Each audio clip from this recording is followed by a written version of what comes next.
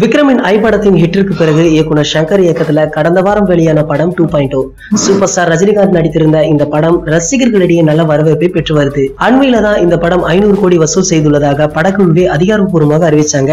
இதனை அடுத்து உலகநாயகன் கமலஹாசனின் Indian two படத்தை எடுக்க உள்ளார் சங்கர் இதன் ப்ரீ ப்ரொடக்ஷன் பணிகள் விறுவிறுப்பாக நடந்துட்டு வருது. ஷூட்டிங்க வருகிற டிசம்பர் பதினாலாம் தேதி துவங்க இருக்காங்களாம். இந்நிலையில இந்திய டூவிற்கு பிறகு சங்கர் இயக்கவிருக்கும் புதிய படம் குறித்த தகவல் கசிஞ்சிருக்கு. இன்னும் பெயரிடப்படாத இந்த படம் சயின்ஸ் பிக்ஷன் ஜானர்ல உருவாக இருக்கான் அதிக விஎஃப்எக்ஸ் காட்சியில் கொண்ட இந்த படத்தை டூ பாயிண்ட் ஓ போல த்ரீ டி தொழில்நுட்பத்துல படமாக்க இருக்காங்க சங்கர். இந்த படத்துடைய பட்ஜெட் ரூபாய் ஆயிரம் கோடின்னு சொல்றாங்க. இதுல அர்னால்டு சர்வாஷ் நகர் ஜாக்கி சானுடன் இணைந்து தமிழ் சினிமாவின் முன்னணி நடிகர்ல ஒருவர் நடிக்க இருப்பதாக சொல்றாங்க.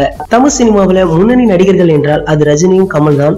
அப்படி பார்த்தாலும் ரஜினியை வைத்து டூ பாயிண்ட் படம் இப்பதான் ரிலீஸ் ஆச்சு. அடுத்ததாக கமலை வைத்து தான் இந்தியன் டூ படம் எடுக்க இருக்காரு தமிழ் சினிமாவில் ரஜினி கமலுக்கு அடுத்தபடியாக இருப்பவர்கள் தான் அஜித் விஜய். அப்போ சங்கர் கண்டிப்பாக இவங்களை ஒருவர் தான் தேர்ந்தெடுப்பார் என எதிர்பார்க்கப்படுது. அஜித்துடைய விசுவாச படம் அடுத்த பொங்கலுக்கு ரிலீஸ் ஆகுது.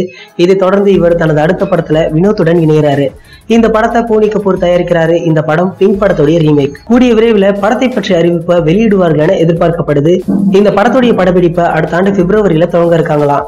அப்படியே இந்த பக்கம் வந்தீங்கன்னா நம்ம தளபதி விஜயின் சர்க்கார் படம் அண்மையில தான் வெளியாகி மிகப்பெரிய வெற்றி அடைந்தது. இதை தொடர்ந்து இவர் அட்லியுடன் இணைகிறாரு. இந்த படத்துடைய படப்பிடிப்பும் அடுத்த ஆண்டில் தான் துவங்குறாங்க. இந்த படத்தை ஏஜிஎஸ் நிறுவனம் பிரம்மாண்டமாக தயாரிக்க இருக்காங்க. சங்கர் அஜித் விஜய் இவங்களை யாரை தேர்ந்தெடுப்பாரு அப்படின்ற உங்களின் கருத்துக்களை கீழே உள்ள கமெண்ட் பாக்ஸ்ல கமெண்ட் பண்ணுங்க. இந்த வீடியோ பிடிச்சிருந்தா லைக் பண்ணுங்க ஷேர் பண்ணுங்க. இது போன்ற பல சினிமா செய்திகளை நீங்க உடனே தெரிஞ்சுக்க நம்மளுடைய கிரீன் மிஷன் சேனலை சப்ஸ்கிரைப் பண்ணுங்க. மேலும் அப்டேட்டுகளை உடனுக்குடனே அறிந்து கொள்ள அருகில் உள்ள பெல் பட்டனை கிளிக் பண்ணுங்க.